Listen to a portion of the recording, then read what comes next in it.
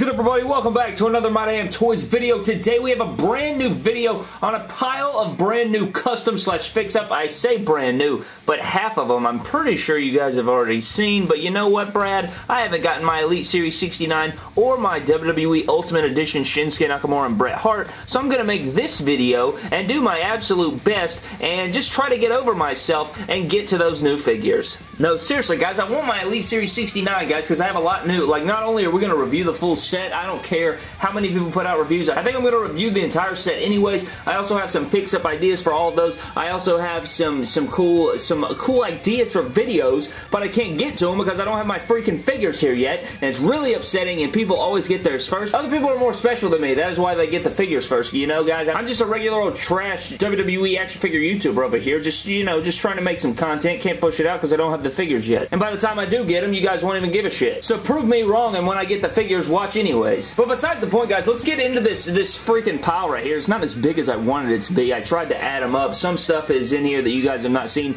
Like yesterday, if you guys, do you guys have an Ollie's? I went to Ollie's and I picked up these two SummerSlam Matt Hardys for literally eight bucks. My boy Rod hit me up. He said, Brad, you need to go over there to the Ollie's because they have some, uh, some SummerSlam action figures from WWE from 2017. They had Dean, they had Edge, and they had Matt Hardy. No Seth Rollins, I would have grabbed that, but they did have these two Matt Hardys, and I am in the process of making a couple customs. If you guys can tell what they are, please let me know down in the comment section below. Comment right now what you think these are going to be, but these are just work in progress, and we're going to acetone the pants. We're going to do some really cool stuff with them, and I'm excited for that. But there's Matt Hardy's uh, slash whoever the hell this is going to end up being. Let me know down in the comment section below who you think it's going to be. But there are those. The next figure that I want to show you guys, I posted it on my uh, my community tab if you guys did see, but it is this custom elite Cedric Alexander, and you guys know I'm a big Cedric Alexander fan. I love him to death. It is a Spider-Man inspired attire. You guys can see here on the trunks, we got the red and blue, the silver and the black. On, on the gauntlet here, we do have the web design going around, all the way around. You got the CA logo on the back. You got all the good stuff going on, and uh, even on the gauntlet, there is some like uh, black laces there with the blue and silver tying it all together. You got the blue on the back of the knee pads, red faces, red kick pads, white outsoles. I did want to add some more details to the kick pads, like on the shoes, add some blue to the outsoles and possibly the feet, and uh, possibly add some stuff to the kick pads, but I really like this solid red look. I like the way that turned out, and uh, people were saying, you know, it has the Black Panther necklace on it still, but he actually wore a couple of attires, I'm pretty sure, that still had that Black Panther design on there. The attire where he wore the necklace design on the trunks actually, I'm not sure if the other one he wore was Black Panther inspired. I didn't know if it was, if it was supposed to be Black Panther inspired, but I went ahead and left the necklace style design just because it looked good anyways, and I don't know, I, I liked it. Also, I know a lot of people are going to say, add some stuff to the kick pads, MDT, and I don't know, man, I really like it. I wanted to use as less paint as possible, so that is why I left them blank, and, you know, I wanted to use it for the pick fed. We also tied it together with the red necklace that, you know, his signature necklace he always wears, and he approved it on Twitter himself. As you guys can see there, he approved it. He liked it. I also still need to add the fade to the hair there, but Cedric Alexander did approve it, and it was so cool because he's actually interacted with me on Twitter a couple times now, so, you know, it just makes me mark out even harder for him when I see him in the ring. But we also switched out the torso for the good Kofi Kingston style torso from the old figures, and it looks great. Really happy with this Cedric Alexander figure, and it's badassery. So we got the Cedric Alexander. The next fix-up that we have, guys, is on my United States Champion, the MDT United States Champion, Zack, Zack Ryder, Jack Swagger. The MDT United States Champion, Jack Swagger, here in the USA attire. He is the US Champion, and what I did was just switched out the boots. You guys know that he does have these style boots, so I took my Hall of Champions Batista, and I switched out the boots and put them over here, and the reds don't match the best with the singlet. You guys can see this is more of an orangish red, but on the title belt, you guys can see here, it really matches well, and uh, I wanted him to have that America attire. You know, he was the masked man. He got unmasked by Shelton Benjamin at the Royal Rumble,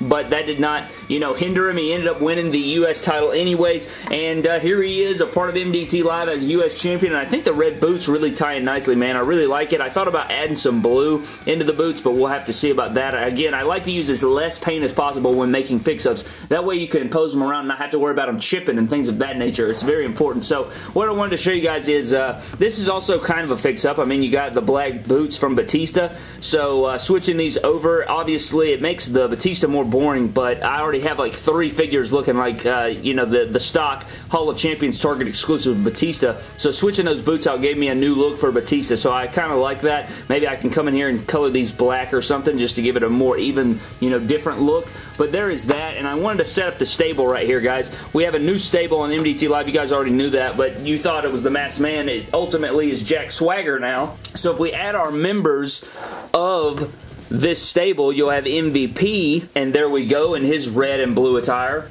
And then we have the final member, Zack Ryder, and you guys will remember in WWE Action Figure Surgery from a couple days ago, if you guys missed that, I actually fixed this figure up. Can you guys tell what I did? I fixed it up and made it a whole lot better. Like, holy crap, this Zack Ryder looks so good now. Remember in Action Figure Surgery, the Zack Ryder head was sitting way too low on the torso. It looked very odd, and the ripped legs looked odd, and so the arms were pretty loose. So what I did was went back to the original biceps that the figure had on it because the, the arms were pretty freaking loose. So I fixed that. I then took the head scan off, added a piece of paper inside the head scan so that it sat higher, and then I switched out his thighs with Bobby Roode thighs, and look at the difference now. He doesn't have these massive jack legs. He actually has legs that look like Zack Ryder. He doesn't have the black tape, but that doesn't really bother me that much. And so, now this Zack Ryder looks clean AF, guys, and you guys remember on Action Figure Surgery, I talked about the headband. I know you guys are thinking, if you didn't watch Figure Surgery, then you definitely need to go check that out. But anyways, I knew you guys would be like,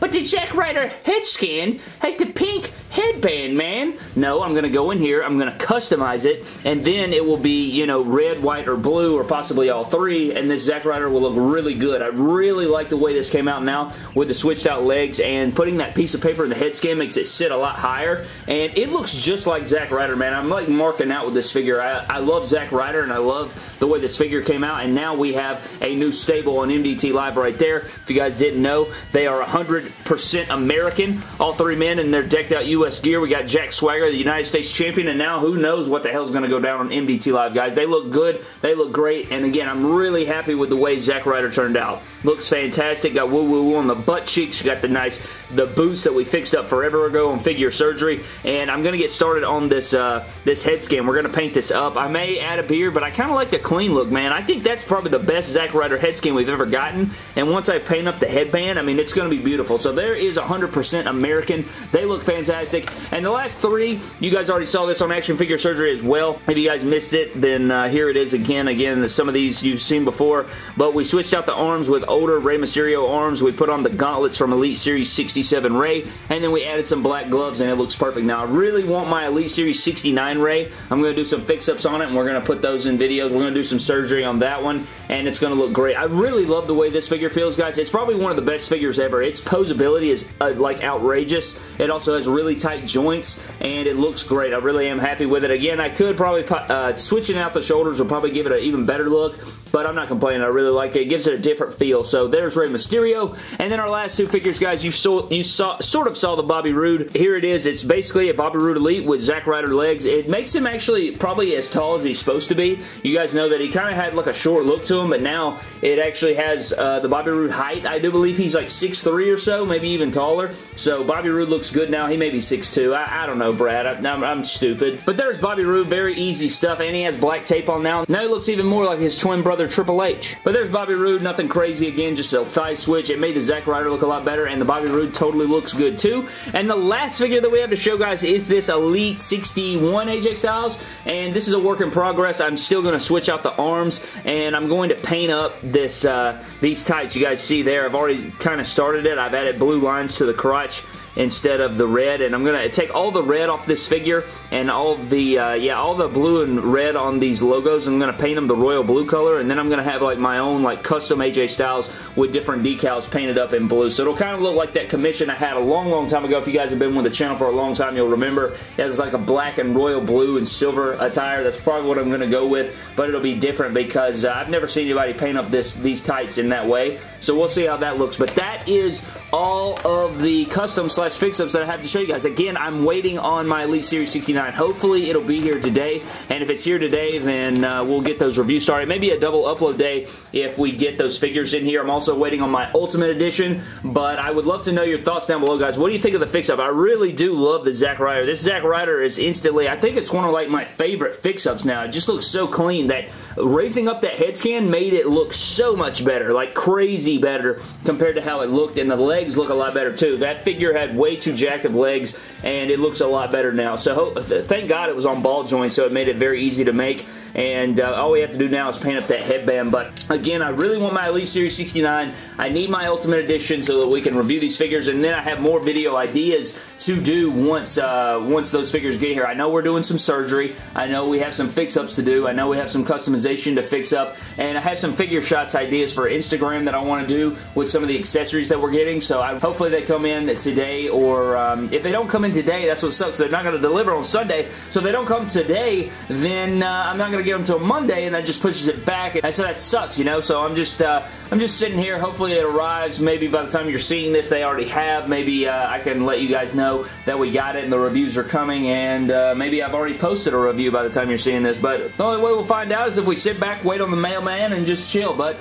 thank you guys for watching. Comment down below what you think of the Cedric, also what you think of the Zack Ryder. It looks 10 times better. You know, guess the customs down below. What do you think of 100% American stable over there on MDT Live? Would love to know your thoughts on that as well. But thank you guys for watching. Subscribe to the channel for more epic WWE action figure videos. Follow me on Instagram and Twitter at MyDamnToys, and I will see you guys in the next video.